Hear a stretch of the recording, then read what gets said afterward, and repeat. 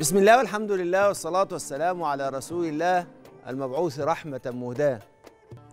كل سنة وحضراتكم طيبين. إحنا دخلنا كمان في الشهر المبارك الشهر اللي بيفتح أبواب الاستعداد لشهر رمضان شهر شعبان المبارك. نسأل الله سبحانه وتعالى أن يجعلنا في خير حال وفي خير صحة ويبلغنا رمضان على أحلى وأجمل وأطيب وأقرب حال. النهارده شوية الحلقة بتاعتنا إحنا يوم الحد بنروح على البيوت نتفقد البيوت. تفق- نتفقد البيوت ليه؟ لأن البيوت أمانة. البيوت بالأمانات على فكرة. البيوت مليانة أمانة. أمانة ربنا بيودعها.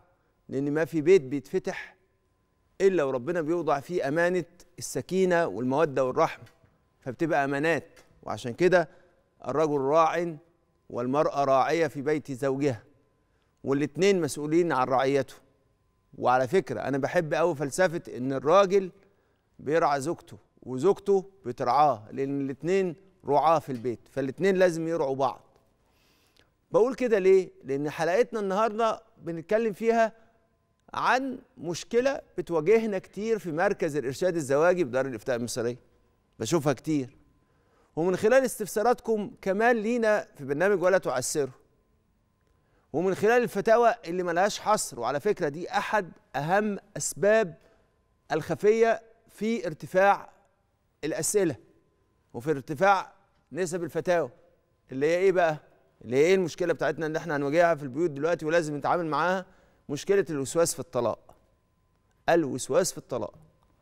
لما بيكون في زوج كتير الحلف بالطلاق ويبقى بالنسبة لنا زبون دائم في مسألة الحلفان بالطلاق وبيرمي الأيمان كتيرة على زوجته.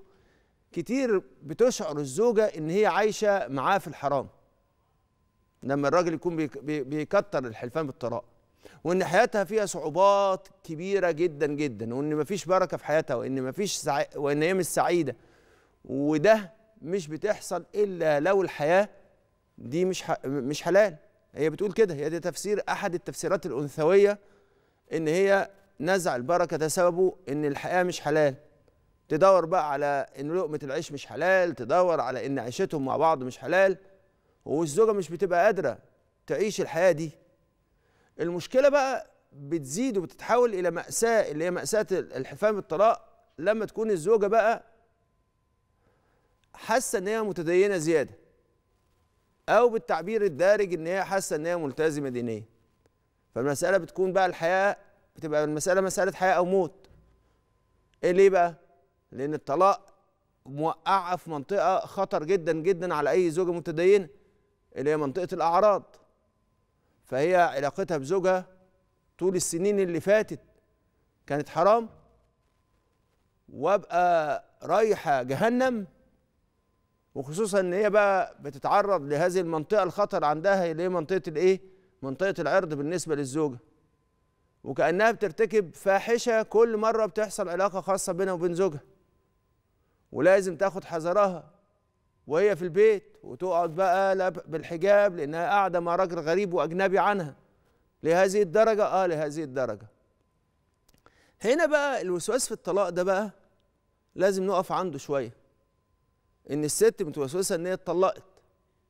وتجيب لها ايمان المسلمين ويفضل مثلا بالساعتين ثلاثة معاه على التليفون أو في أو بن وإحنا بنفتيها وهي مصرة على إن في طلاق وقع. وتقول لك أنا ما ارتحتش. وتبقى المسألة في بعض الأحيان مسألة صعبة جدا جدا لدرجة إن بعض الزوجات لما بيدخل عليها زوجها بتقفل الباب على نفسها وتقول له اعتبرني جليسة للأطفال بيبي سيتر خلاص أنا بعتبرني مش خلاص أنا مش مش زوجتك.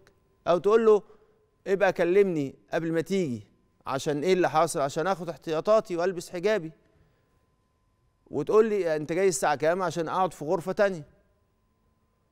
وده كله بيحصل مع الزوج اللي عنده وسواس برضه فبيتعامل مع زوجته كأنها غريبة ومش بي... و... وايه اللي بيحصل؟ ومش بيخليها معاه في البيت. وهنا بقى بتحصل رحلة عذاب بقى للزوجين. ويفضل الزوجين يتوسوسوا حتى في سؤالهم للمشايخ في دار الإفتاء ويسألوا أكتر من شيخ ويسألوا أكتر من مرة بحجة إن هم ما ذكروش بعض التفاصيل. لدرجة إن هم لما يوصلوا للفتوى بيكونوا عاوزين مننا نكتب ساعات ساعات لما يبقى الوسواس متمكن من الشخص ده في الطلاق بيكون عايزني أعمل إيه؟ أكتب له الفتوى بإيديا وكمان أحلف له بالله العظيم على الفتوى. وده ممكن يحصل على فكرة للزوج وممكن يحصل للزوجة. طبعا إحنا ما عندناش كده. والزوج على فكرة بيختلف شوية. فممكن يقول لنا مثلا قول لي حكم إن أنا إن أنا بطلقها في سري. يعني مثلا يقول لي إيه؟ أنا أنا طلقتها. أقول له طلقتها يعني تلفظت بإن أنت طالق؟ يقول لا أنا طلقتها جوايا. بحس إن أنا بطلقها جوايا. فأقول له هل تلفظت بده؟ فيقول لي لا مش فاكر أو ما ظنيش. طب أمال أنت عملت إيه؟ يقول لي أنا حاسس إن أنا طلقتها جوايا. بس افتيني على إن أنا تلفظت بالطلاق وده طبعا ما ينفعش ده خطأ. وإحنا عندنا جزء مهم للتعامل مع الوسواس في الفتاوى. ففي الأحكام الشرعية إحنا بنفتي الموسوس بما يدفع وسواسه. كده نص الفقهاء على انك أنت لما تيجي تفتي حد تفتيه بما يدفع وسواسه يذهب وسواسه. طب واحد يقول لي أنت ليه بتتكلم عن ده؟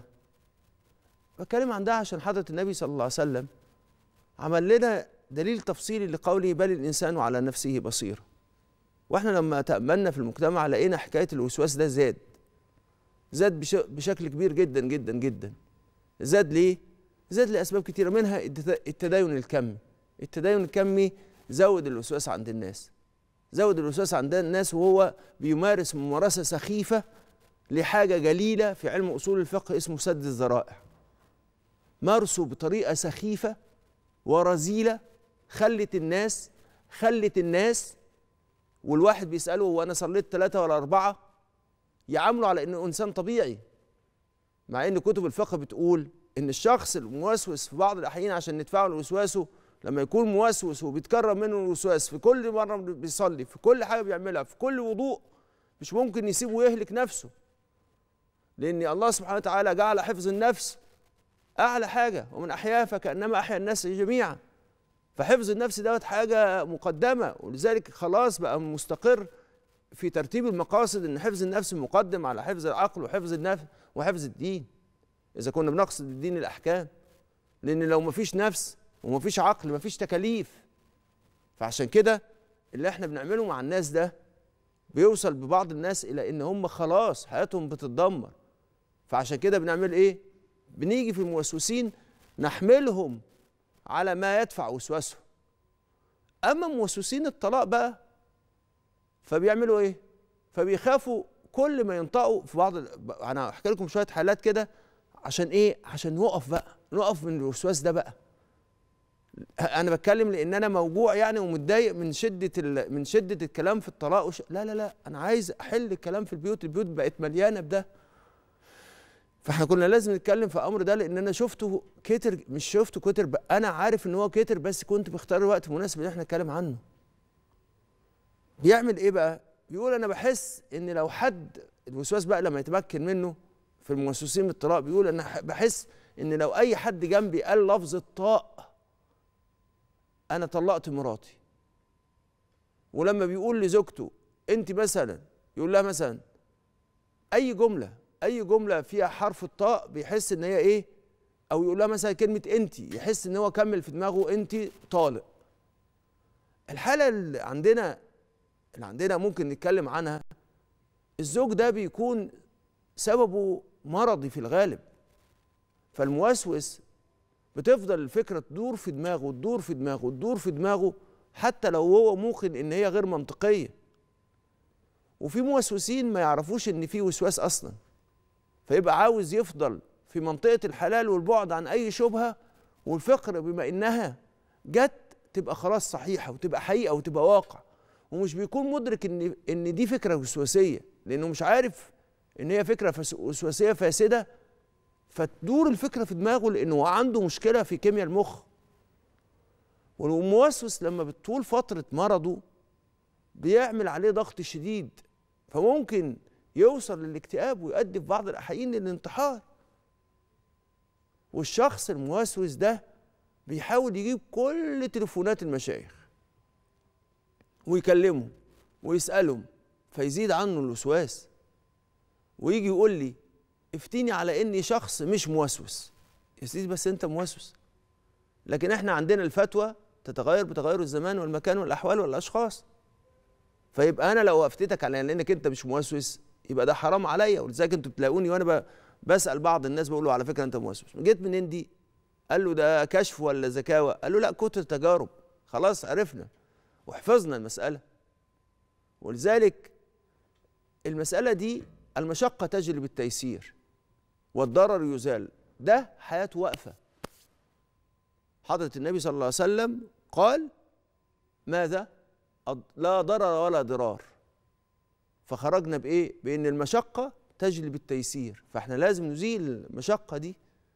لازم لازم نفتح باب للخروج من هذه الأزمة. وإصرارنا على عدم الرد عليه بيكون جزء من العلاج على فكرة.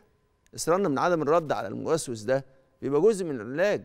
لأن كل ما بجاوب بيفضل يسأل ويقول لي أصل نسيت تفصيلة أصل نسيت أقول لك أنا كنت واقف فين أصل نسيت أقول لك كان مين باصص لي أصل نسيت أقول لك ده كان رد فعل لإيه. وكل الكلام ده على فكرة لا يفيد في, ألو... في, في, في لا يفيد في مسألة الطلاق.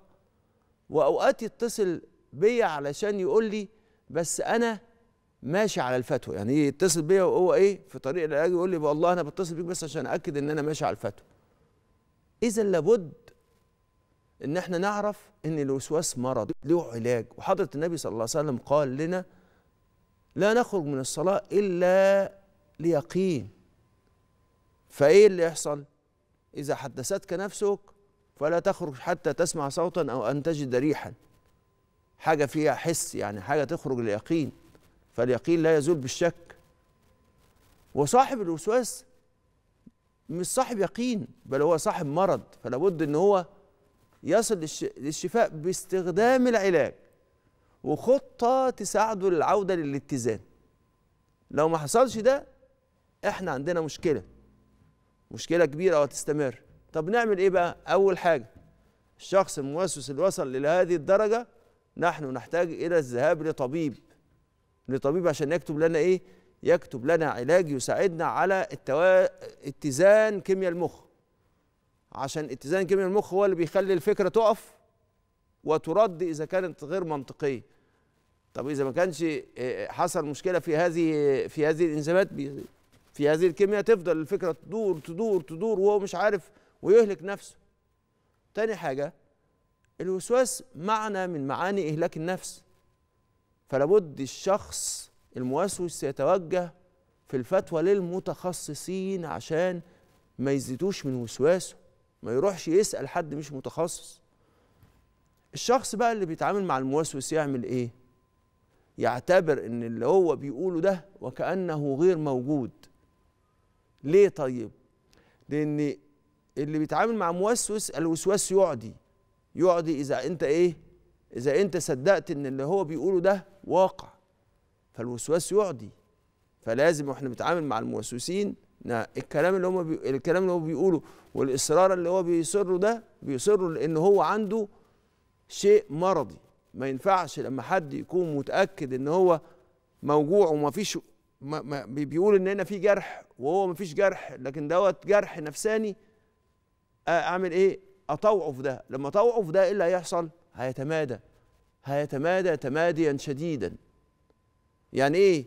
يعني الزوجة اللي زوجه موسوس في الطلاق ده بعد ما يعمل كده لما يجي يقول حاجة ولا كأنه اتعامل مع ده خالص ولا كأن الكلام ده موجود. هو ده اللي يدفع الوسواس.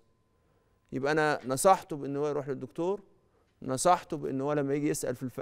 في مسائل الطلاق يروح متخصص نصحت اللي يعيش معاه ما يعتبرش الوسواس بتاعه ده واقع لكن في نفس الوقت الحالات اللي فيها وسواس في الطلاق والحياة بتبقى صعبة فيها نحن نحتاج إلى الذهاب للمتخصصين في الإرشاد عشان يقولوا لنا نعمل إيه؟ عشان يقدروا هو دوت من قبيل الوسواس في الطلاق ولا لأ؟ طب ونعمل إيه؟ في شوية إجراءات كمان لازم نعملها وإحنا بنعالج مسألة الوسواس الوسواس في الطلاق ما بين الزوجين.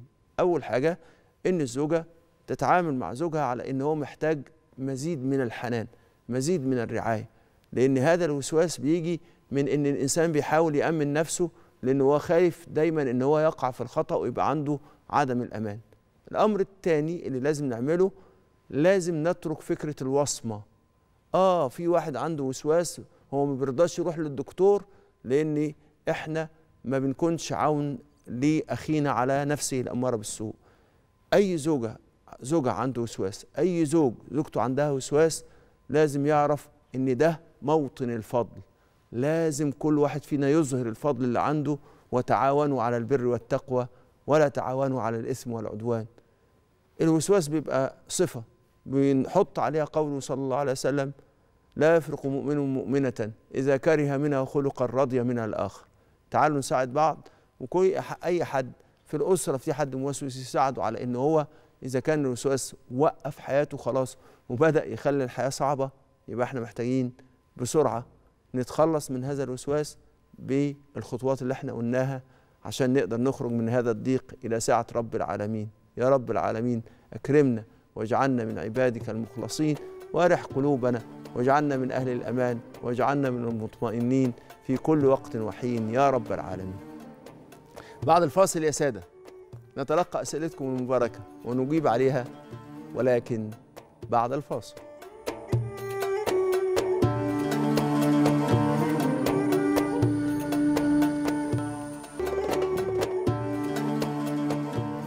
رجعنا لحضراتكم معانا صفحتنا على الفيسبوك صفحة برنامج ولا تعسروا.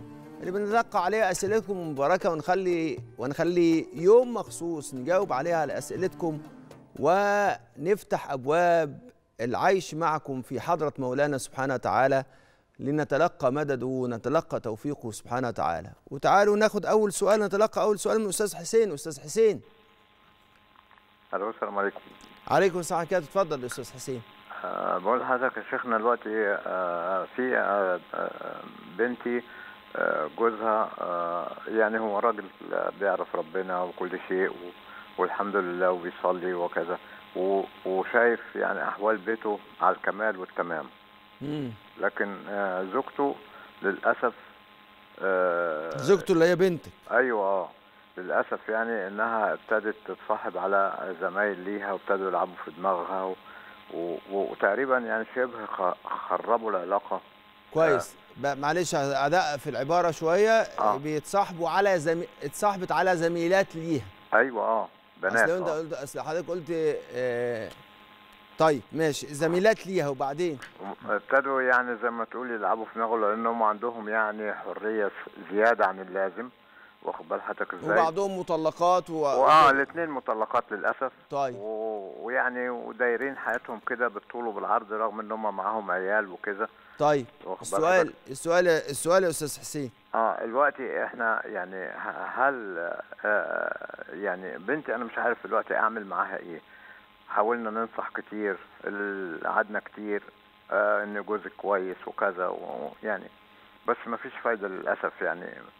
طيب. دماغها راكبة شمال و ويعني كمان يمكن أقدر أقول لحضرتك إنها ابتدت تشرب سجاير وحاجات زي كده. ف يا ريت تنصحني. أقول لحضرتك يا أستاذ حسين إحنا عندنا ثلاث حاجات انصحك بيهم. أول حاجة لازم لا تتوقف عن النصيحة بس لازم تغير نصيحتك خالص يا أستاذ حسين. لازم نصيحتك تيجي بعد الحاجة التانية اللي هقولها لك. لازم تسمعها.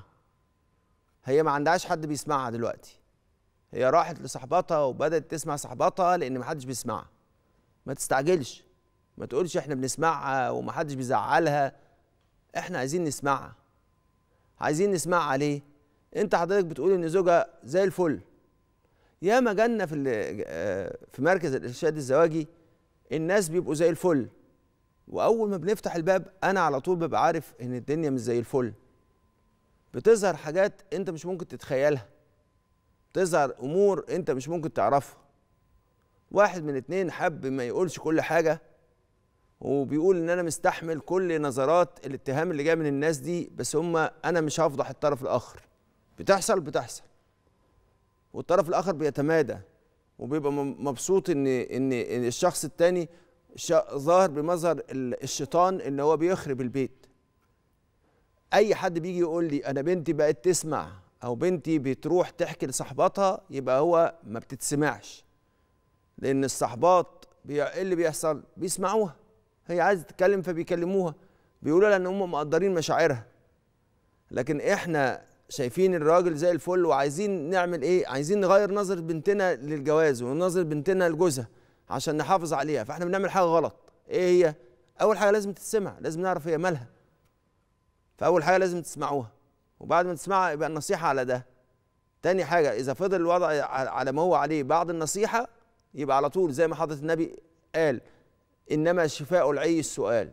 تجيبهم هما الاثنين على مركز الإرشاد الزواجي ومش هي لوحدها هما الاثنين بنتك بدل عندها ده جوزها الطيب اللطيف المت- المتدين اللي قايم بكل واجباته ده اللي أنا ما أعرفوش أهو أنا ما أعرفوش. هو جزء من المشكلة الزواجية اللي بينهم.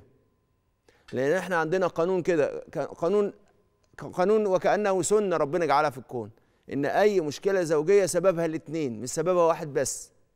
فعشان كده أخونا هذا خليهم هما الاثنين إذا كانوا هم إذا كنت أنت بعد ما تسمعها وبعد ما تنصحها ما حصلش الوصول لحل على طول خليهم يتفضلوا إلى مركز الإرشاد الزواجي ونقابلهم وإن شاء الله في حلول لكل الكلام اللي أنا بقوله دوت. دي نصيحتي ليك يا أستاذ حسين. أستاذ السيدة أم محمود تتفضل. السلام عليكم ورحمة الله وبركاته. وعليكم السلام ورحمة الله وبركاته أم محمود. فضيلة الشيخ كل سنة وحضرتك طيب. وحضرتك طيبة وبصحة وسلام الله وفضل يخليك. سو- سؤالين بساط بسرعة كده عشان ما أعطلش حضرتك. اتفضلي. بص أنا الحاج متوفي بقاله خمس أشهر طيب. وبعدين الله يرحمه يا رب ويجعله في فسيح ال- الجنات. الله يخليك. فابنه شافه يعني في سن صغير. وبعدين بعد كده ابنه ابنه ابنه شاف شاف الحاج الله آه، يرحمه كأنه سن سنه صغير. وبعد كده قال إيه شافوا لما مات قالوا حطوا في العربية بتاعته يعني في بتاع ورا في العربية بتاعته فلقاه بيتحرك طيب. فقلق قال لي إحنا دفنا أبويا صحي يكون كان مغمى عليه أنا ضميري طيب. بيأنبني يا ماما أنا كده يعني طيب إيه تاني؟ السؤال التاني. السؤال الثاني أنا عندي ثلاث شباب مربيهم بعد أمهم وأبوهم يعني ولاد بنتي. طيب. وبعدين يعني هم لهم معاش ومعاشنا معاهم. طيب. اما إيه بيخلص المعاش مثلا ممكن إيه أكون شايلة لهم قرش أنا بعمل لهم جمعية واشيلها لهم. آخد منه أصرف يعني من في البيت. أنت اللي عامله انت اللي عاملة جمعية من فلوسهم ولا من فلوسك؟ يعني هم بيخرجوا استني بس هم بيخرجوا على بعضها. لا استني بس يا حاج هم آه. دلوقتي آه. الأولاد دول ليهم فلوس جاية لهم منين؟ جاية لهم من معاش ولا جاية لهم من من معاش أبوهم. من معاش أبوهم الله يرحمه. آه. بص يا ستي فأنت دلوقتي بتقولي إحنا حاطين معاش أبوهم على فلوسنا وبنصرف منها على كلها. معاشنا آه. على معاشنا دلوقتي. أمم. فأنت بتقولي لما فلوسي بتخلص بنجيب من الفلوس عشان نصرف عليهم منها. آه. ولا نصرف علينا كلنا؟ على الكل ما ما فيش إلا أنا وهم بس. طيب أقول لك حاجة يا حاج أنا آه. أجاوبك على السؤالين. أول حاجة الحاج ما اتدفنش ميت ولا أي حاجة وابنك بس عنده حالة من حالات يعني ما زال حتى الآن متعلق تعلق محتاج إن إحنا نشوفه لحسن يكون التعلق دوت تعلق فيه آه شوية في حالة من حالات عدم الاتزان اللي هو في حالة من حالات الإنكار اللي هو آه، أنا شفت والدي في المنام على إنه آه، سنه صغير وبعدين لما حطيته في العربية آه، حسيت إن هو بيتحرك فأنا عايزين نعرف نروح نفتح القبر نتأكد إن هو مات ولا لأ؟ دي كارثة. يعني دي طريقة تفكير فيها مشكلة. دي طريقة تفكير فيها إيه؟ فيها مشكلة.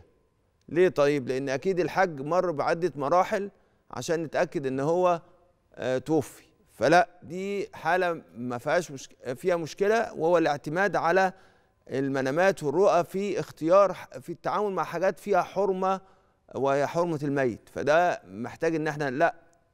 يعني مش هنمشي ورا التفسير ده ومش هنمشي ورا ده ومش. مش هننبش القبر عشان آه، رؤية ولا عشان فكرة عند عند ابن حضرتك طيب يبقى ابن حضرتك محتاج إن هو يتتبع هل عنده فكرة إنكار إن الوالد توفي وإن هو محتاج له وإن هو مش قادر يعيش حياته من غيره فهو يحتاج ممكن يبقى ساعتها محتاج دعم شوية دعم السؤال التاني بتاع حضرتك وهو إحنا بالأساس هنصرف من الفلوس دي.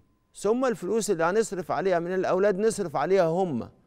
مش نصرف على حضر عليكم كلكم. إلا إذا هم كانوا اذنين في ده. يعني إذا كانوا هم اذنين يا أمي آه، يا يا يا تيتا خدي الفلوس كلها واصرف- ونصرف عليها كأننا زي الإيه؟ زي الأشعريين. لكن أنت ما تعمليش الكلام ده من نفسك. لازم هم يوافقوا. هل هم في سن بدل هم بياخدوا المعاش والمعاش ده بيطلع باسمهم يبقى هم خلاص في سن يسمح لهم بده. فإذا كان ده فلازم ناخد رأيهم وهم يقولوا لحضرتك. فإذا قالوا لحضرتك ما فيش مشكلة خالص إن إحنا نحط فلوسنا على على بعض كلها ونصرف فيها بس برضاهم لأن الفلوس دول ملكهم هم فإذا رضيوا فيبقى جائز وليس فيه إشكال ويكون دوت زي بالظبط ما ورد في الحديث زي الأشعريين. الأشعريين إذا أرملوا أو جد أو جدوا في السير جمعوا ما عندهم من مال وضعوه في نطعه في نطع واحد ثم قسموه بينهم بالسوية. اللي إحنا نحط فلوسنا مع بعض لما نكون عايشين عيشة واحدة ده جائز. بس لازم يكون بموافقتهم لأن المال دوت في النهاية مالهم هم. نعم. أستاذ محمد يتفضل. أستاذ السلام عليكم محمد. ورحمة الله وبركاته. وعليكم السلام ورحمة الله وبركاته أستاذ محمد. كل عام وأنتم بخير يا رب. وانت بخير. وربنا يبلغنا يا رب. رمضان بكل خير وكل يا رب يا رب يا سيدي يا رب يا سيدي. والله يا فضيلة الشيخ أنا الحمد لله يعني شغال في دول الخليج وأموري طيبة والله لك الحمد في كل حال. ولكن أنا في الصيف دايما بسافر أوروبا كتير بنروح أمريكا يعني تبع الشغل والأمور طيبة. ولكن آه، أنا حابب إن أنا أستقر خارج الوطن العربي. وخايف إن أنا أكون كده أنا بقطع عيش بإيدي. فأنا مش لاقي أي حد يجاوبني بصراحة على الموضوع دوت. اجاوب أجاوب حضرتك. بص يا سيدي إحنا دلوقتي عندنا في زمان كده في دراسات العلوم الاجتماعية درسوا حاجة اسمها ثنائية المجتمعات. إن في المجتمع المستنير المتقدم ال ال ال ال ال الشريف ال- المجتمع الأبيض.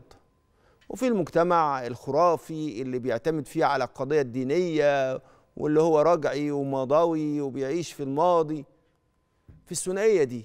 الثنائية دي في الحقيقة ما كانتش بس أداة للتحليل في علم الاجتماع. لكن ده أنتجت ثقافة وأنتجت أمور كتيرة جدا جدا لدرجة إن في مجتمعات نشأت على العنصرية والتمييز. يبدو يبدو إن ما زالت في بقايا من هذه العنصرية وهو إحساس الأفضلية لبعض المجتمعات على مجتمعات أخرى. كل مجتمع فيه عناصر من عناصر الشرف والكرامة والحسن والجمال. والحالة اللي إحنا فيها دي دلوقتي أنا بكلمك دلوقتي وبجاوبك بكل وضوح. الحالة اللي إحنا فيها دلوقتي بتبين قد إيه منظومة القيم في بعض الدول هي منظومة قلقة لا نستطيع إن إحنا نعتمد عليها. فأنا ما أقدرش أقول لك والله سافر ولما تلاقي أي تعامل فيه عدم احترام لكرامة الإنسان تيجي تزعل بعد كده لأن إحنا الأحداث اللي إحنا فيها هتنتج بعض الأشياء في المستقبل. فاللي هتنتجه في المستقبل ده حتى الآن إحنا لا نستطيع إن إحنا نع- نعرفه. في تحديات دلوقتي في بعض الأماكن اللي أنت ممكن تروحها آه في تحديات. في تحديات تتعلق بالأبناء. بتح- هتحدد تتعلق بالأبناء ليه؟ فرض مفاهيم معينة في تربية الأبناء ده موجود دلوقتي في بعض الدول.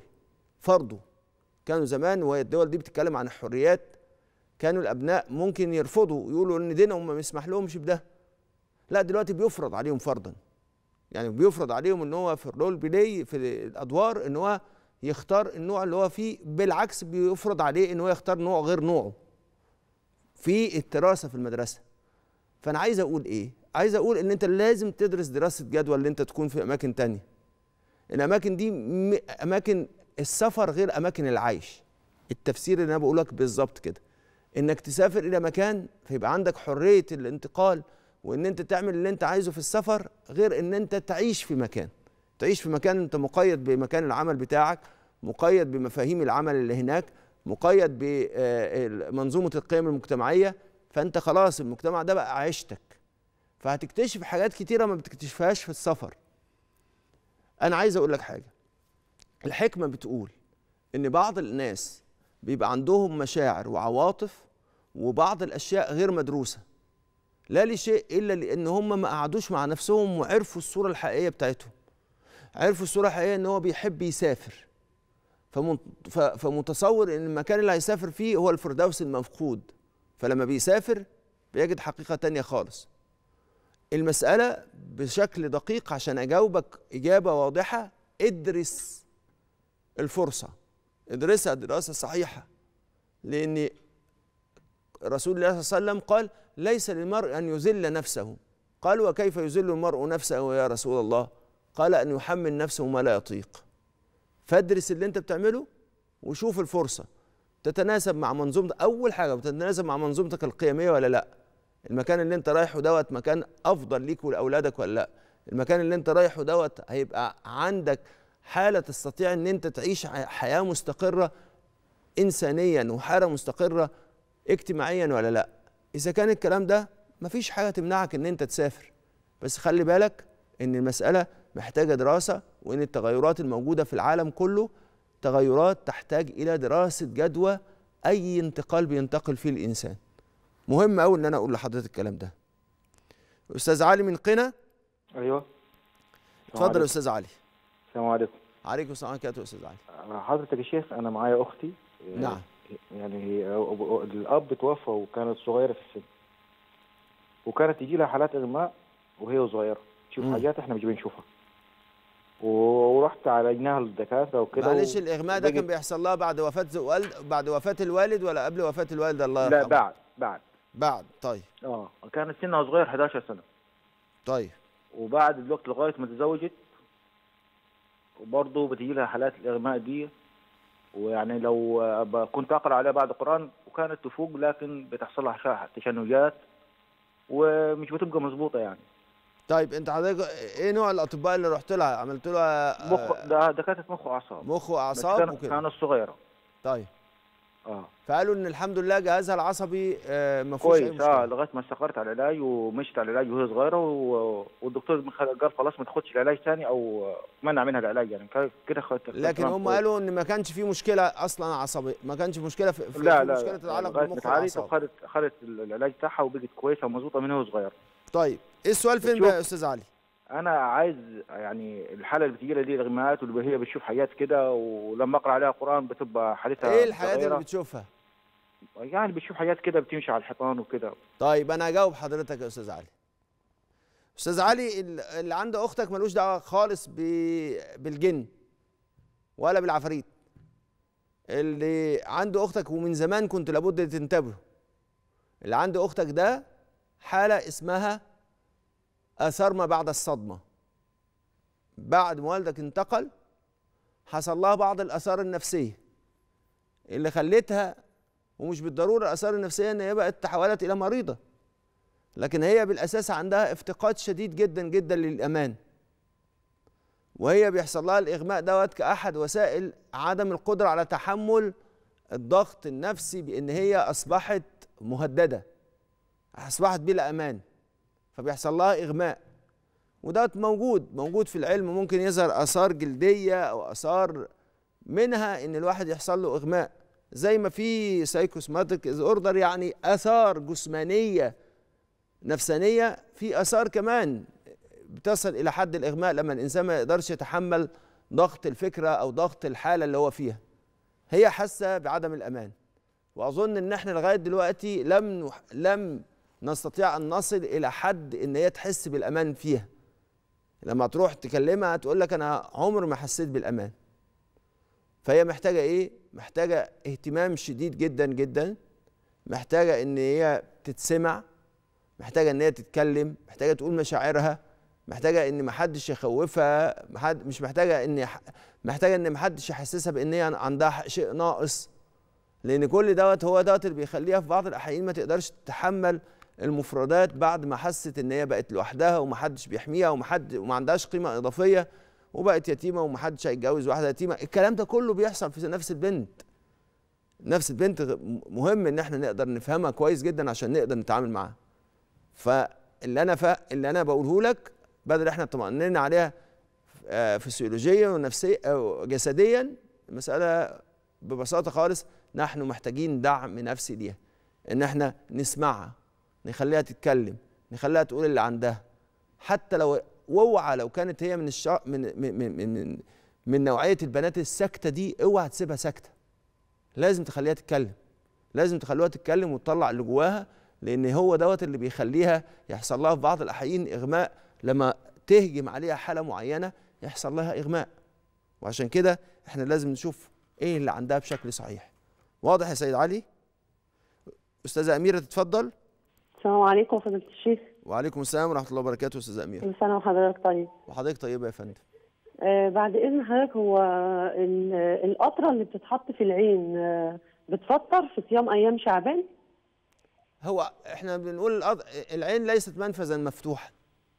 العين مش منفذ مفتوح. لذلك القطرة في العين مش هتبقى مفطرة. خلاص؟ في شعبان أو غير شعبان. خلاص؟ طيب آه سؤال تاني معلش يا فضيلة اتفضلي اتفضلي. حضرتك إحنا شغالين في العناية المركزة وأحيانا آه، المرضى يعني اسمحوا لي بس اسمحوا لي ادعي أدعي لكم كل الناس اللي في الاطقم الطبية إحنا حاسين بامتنان ليكم جميعا وخاصة في الوقت اللي إحنا فيه دوت وفي الأوقات اللي من ساعة كورونا لغاية دلوقتي وإحنا حاسين إن إحنا لازم نمتن لكم. شكرا لحضراتكم. اتفضلي. آه فضيلة الشيخ ربنا يديكم الصحة يا رب و... آمين يا رب العالمين. خاصة في العنايه المركزه بيشوفوا بيشوفوا مدد الله سبحانه وتعالى. اتفضلي. تمام تمام. آه إحنا شغالين في العناية المركزة فهو ال- المريض أحيانا بيبقى خلاص يعني يعتبر إن الجهاز هو اللي معيشه. صح. يعني يعتبر إن الأدوية والأجهزة بتبقى معيشة ال- المريض.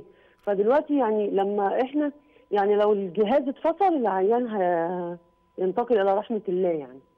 فدلوقتي إحنا لينا طبعا ده بيبقى لود على الأهل مصاريف على الأهل كتير أدوية وأجهزة. آه، وبعدين إحنا بنحس إن إن هو بياخد الحاجات دي على الفاضي. يعني هو خلاص إحنا يعتبر متوفي بس الجهاز والأدوية اللي معيشين. طيب. هل لو اتفصل العيان يبقى إحنا علينا ذنب؟ لو اتفصل العيان بعد ما الأطباء قالوا قالوا الكلام دوت لا طبعا. لأن هو في الحقيقة خلينا نقول إن الشرع الشريف ما جاش قال حدد شكل معين من التداوي بس. يعني هو دلوقتي إحنا لما شلنا الأجهزة من عليه إحنا ما بنموتوش. ولكن الأجهزة دي فقدت دورها معاه. تاني كده الأجهزة انت كلام حضرتك اللي أنا اللي حضرتك بتقولوا لي إن الأجهزة لا تقوم بدور. الأجهزة دلوقتي الدور هو إيه؟ هو العلاج. فالأجهزة دلوقتي لا تقوم بالدور. فهي الأجهزة الآن لا تعالج. هي الأجهزة كلها بتحول الإنسان بس إن هو صورة الإنسان العايش فرفع الأجهزة عنده لما يوصل للحالة دي اللي هو خلاص تيقن. آه تيقن الوفاة خلاص رفع الأجهزة لا يكون حرام لكن دوت إحنا عارفين إن في إجراءات طبية لازم تتاخد ولازم ت... الكلام ده بيكون بموافقة ال... بموافقة الأهل وإن يكون الإجراء الطبي دوت مقنن ومنضبط بالضوابط اللي هي بتكون حاكمة لده فإذا كان ده حصل بنفس الطريقة دي فلا بأس من رفع الأجهزة في هذا الوقت. يا سادة إحنا النهارده اتكلمنا في حاجات ويبدو إن إن المسألة دي يعني أنا مش عايز أحكي لكم قد إيه المسألة دي بتخلي البيوت بيوت كتيرة تعبانة وهي مسألة الموسوسين في الطلاق. ولذلك في بعض الإجراءات بنخلي الإنسان الموسوس في الطلاق ده ما بنصدقوش ويبقى الحل الوحيد إن هو يروح يطلق عند مأذون. يا سادة إحنا عايزين نركز. عايزين نعرف إن البيوت مهما حصل لسه في لسه في نفس لسه في فضل لسه في خير لسه في ناس تقف جنب ناس. ال- ال- الحكاية مش إن واحد فينا لو حصل له أي حاجة حد يتخلى عنه. لكن إحنا كمان عايزين نساعد نفسنا. لما يكون حد موسوس لازم يستجيب لمسألة إن هو يحصل على الدواء وفي نفس الوقت نقف جنبه وندعمه لأن هو دوت هو دوت اللي حصل بيه الجواز. إن الجواز مبني على الفضل وإن الجواز مبني على إن كل واحد فينا سند للآخر. يا رب اجعلنا دايما سند لأحبابنا واجعلنا دايما من أهل الأخلاق الكريمة ومن أهل محاسن الأخلاق واجعل كل واحد منا يحمل الفضل منة منك يا رب العالمين ليصل بها إلى كل عبادك. وخاصه من ربطتهم بوثاق وبرباط من نور وهو رباط الزواج. اللهم اجعلنا من المحسنين ومن أهل الفضل في كل وقت وحين